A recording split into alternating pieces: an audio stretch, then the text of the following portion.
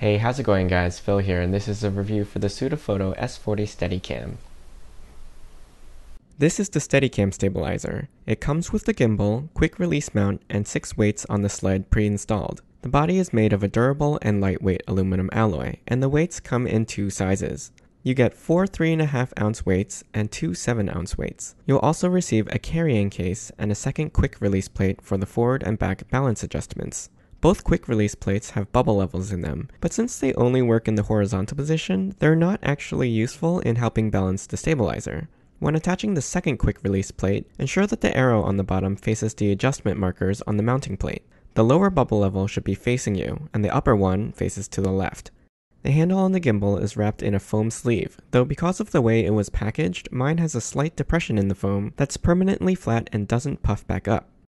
The entire assembly without a camera weighs about 4 pounds. The gimbal is in a fixed position on the telescoping arm, but the thumb screw here allows you to extend the arm from about 10 and 3 quarter inches up to 15 inches, which adds additional leverage when balancing. The handle is hollow so you can place it on a stand for balancing. Let's attach my Canon T3i and balance it. First, make sure the camera is set to the way that you'll be recording, with the lens cap off and the zoom and focus adjusted. Now attach it to the quick release plate with the arrows on the plate on the left hand side of the camera. I'll be using the screw towards the back of the plate. Next, I'm going to remove the smaller weights and just use the two larger ones since my camera only weighs 1 and 3 quarter pounds. I'm attaching the weights furthest to the outside of the sled as possible, so it's easy to get them in the same spots next time. Then I'm going to find the neutral point by adjusting the center post until both sides are balanced. Once balanced, extend the center column about half to 3 quarter inches and test the drop time. We're looking for a drop time between 1.5 to 2.5 seconds, 1 1000, 2 1000, and that looks good. Now we'll adjust the pitch and roll of the camera. We can see that it's leaning slightly forward, so loosen the top quick mount plate and slide it back a little.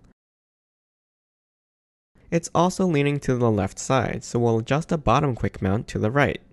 Once it's balanced, you can go ahead and start filming. There is a bit of technique involved in filming with a Steadicam, and you'll have to control your body movements to move very smoothly. The resulting footage is smooth and cinematic compared to my footage filmed by hand. The Steadicam removes almost all the shake from holding the camera and can help you create gliding pans, follows, and fly-arounds.